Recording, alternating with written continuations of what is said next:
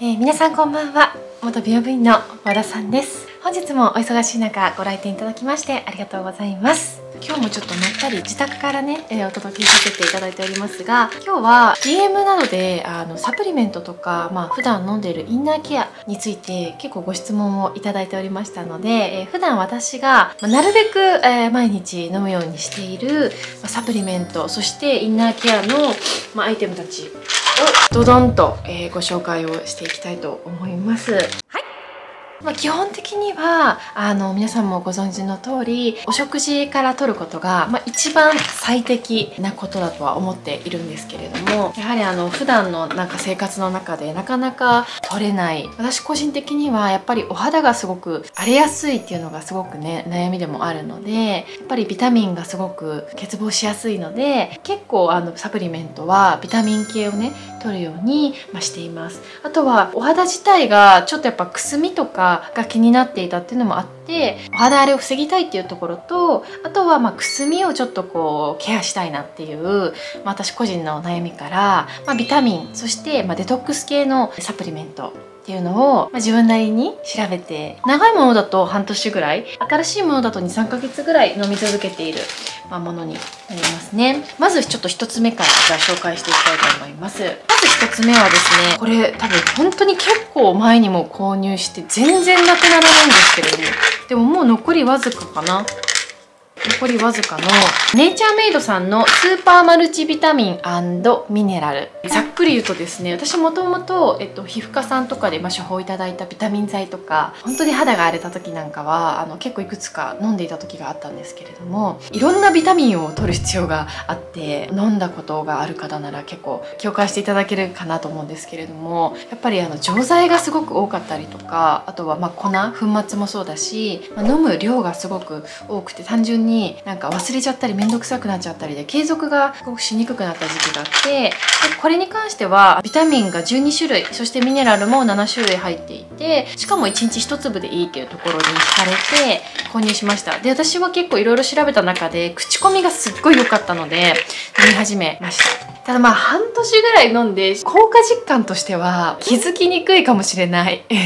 ただすごく飲んで悪くなったとか実感としてなかったので予防のために気持ちとして継続してるっていうところが大きいかなって思います。ただちょっとこれなんと開けてみるとですね錠剤の大きさが結構大きくって私これ最初結構で戸惑いました。なんなら最初はもうなんかうんとか言ってなっちゃってたんですけど蓋の底で割って半分に砕いて飲むっていう方法をやってらっしゃる方もあのいるみたいです。私はちょっと最近はようやく慣れてきてこの大きさのまま飲むようにえなりました。でこれは1日1錠で大丈夫なので毎晩私は寝る前に飲むようにしています。そして次がですねアイハーブでま購入したちょっと3つ一気にご紹介していきたいと思います。本当に成分の詳しいことっていうのは私はちょっと申し訳ないんですけれども、まあ、勉強不足でこの場で皆さんに具体的なことを説明するっていうのはちょっと控えさせていただきますが私個人としての、ま実感とかどうしてこのアイテムを選んだのかっていうところをちょっとお話しさせていただきたいと思います。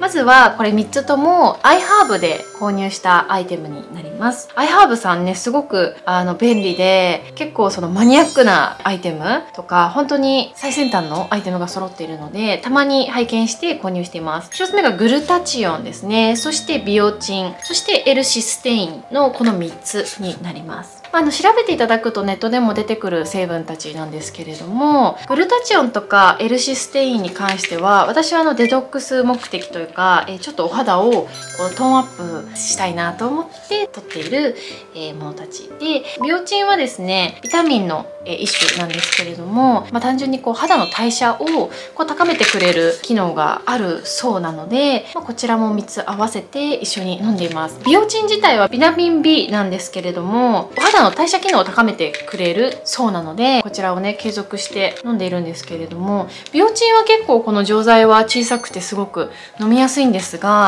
この他のねエルシステインとグルタチオンに関してはちょっとやっぱりね海外のサプリメントってちょっと大きいんですよね。これグルタチオンですね。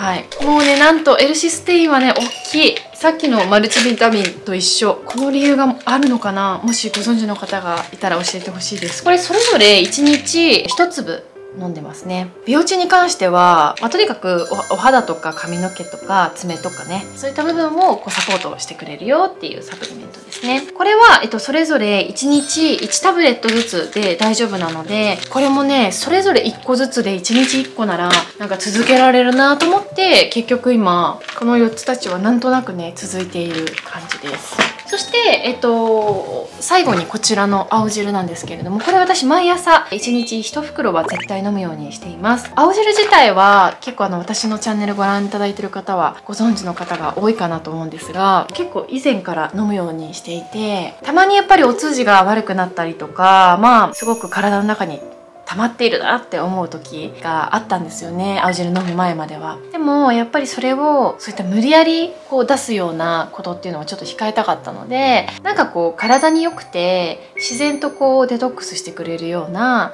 ま、ものはないかなって思った時に一番良かったのがやっぱ青汁でその中でもやっぱりすごく苦かったりあとは溶けにくかったりまあ単純に味がなかなか継続しにくいっていうものたちがどうしてもね体にいい分そういったちょっと続けにくさみたいなところがあったんですけれどもこちらのねオルビスのグリーンドリップ浅摘青汁に関してはなんか本当にお抹茶みたいな感じですごくさらっと飲めるんですよね。で本当に朝時間がない時にお水にさっと入れてなんならあのかき混ぜなくてもふわっとこうちゃんと溶けてくれるんですよ。でそのままグッと飲んでも下に粉だまりすることもない。なのでいろんな要因から継続しやすいなって思います。私飲む時はですねもう基本的にあの10本とかをコップとかにこう入れておいてそこからつまんでもう入れて飲む。っていうような継続とにかくしやすい仕組みをなんか作るようにしています。本当に2ヶ月3ヶ月、えー、飲んでちょっと変わるか変わらないかぐらいのね感覚のアイテムだと私は思って続けているんですけれどもなんか少しでも少しでもねより綺麗になったりとか自分の悩みが解決したらいいなと思ってこちらのアイテムたちは継続しております、ということで、え、今日はですね、私が普段リアルに飲んでいるちょっとインナーケアの、え、アイテムちゃんたちをご紹介させていただきました。今ご覧いただいている皆さんの方がですね、すごい詳しいこととかも、私が知らないこととかもいっぱい知ってる方もね、え、いらっしゃると思うので、もし私のその肌荒れとかくすみかなっていうのをケアしてくれるインナーケアにはいいよっていうものがあったら、是非コメントで、教えてくださると嬉しいです。見てくださってる方にもね、すごく大変助かる情報だと思います。ということで、え本日もこの動画が少しでもですね楽しかったよとか見ててよかったって思っていただけた方は是非いいねボタンと、えチャンネル登録どうぞよろしくお願いいたします。本日も最後までご覧いただきましてありがとうございました。また次の動画でお会いいたしましょう。バイバーイ。